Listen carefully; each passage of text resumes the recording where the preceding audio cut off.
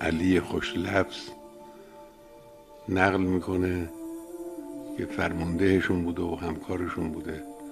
علی چیت سازیان. میگه که او همیشه به ما می‌گفت اگه می‌خواید از این سیمه های خاردار عبور کنید اول باید از سیم خاردار نفس خودتون عبور کرده باشید. همون کسی که ایشون ازش تعریف می‌کنه و یاد می‌کنه. فرماندهش که اون حرف ازش نقل می‌کنه. همسر او میگه در آخرین باری که آمد بعد که رفت دیگه رفت و شهید شده ندیدیمش. شب هم تو نشسته بود نیمه شب و اشک میریخ گریه می‌کرد. با اینکه مرد با صلابت و قدرتمند و فرمانده کاملا با صلابتی بود اصلا اهل گریه و این چیزا نبود.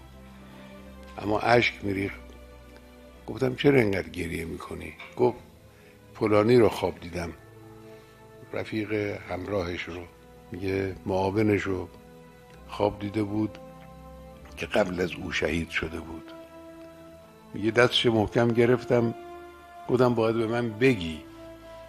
ما این همه با همدیگه رفتیم راه کار پیدا کردیم. اینا نیروهای اطلاعات عملیات بودن.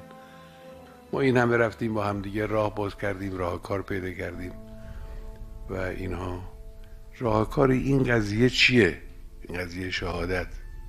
اینو به من بگو چرا من شهید نمیشم؟ یه نگاهی به من کرد گفت راهکارش اشکه اشک.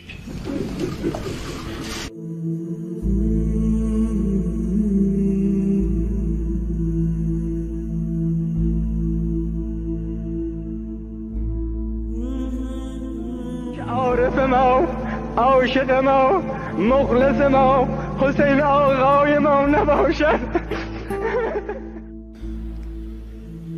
که اگر چنانچه از سیم خاردار می‌خوای رد بشی اول باید از سیم خاردار نفسه عبور کنی.